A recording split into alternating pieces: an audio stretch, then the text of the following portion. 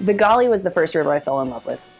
There are people that come out of the woodwork every fall to guide the Gauley. What makes the Upper Gauley unique is its blend of technical skills required and big water.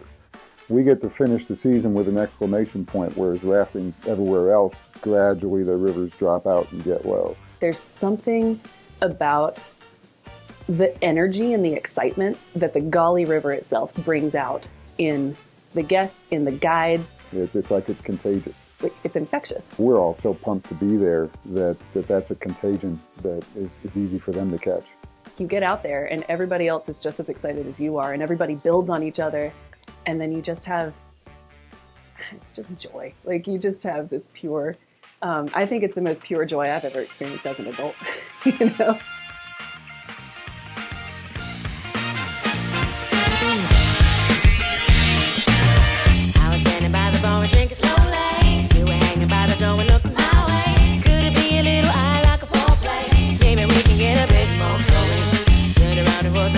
It's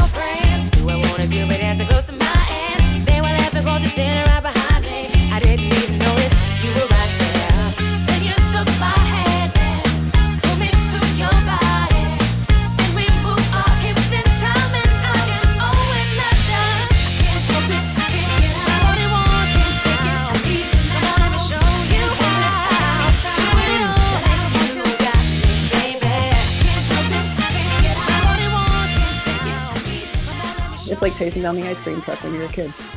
the same feeling.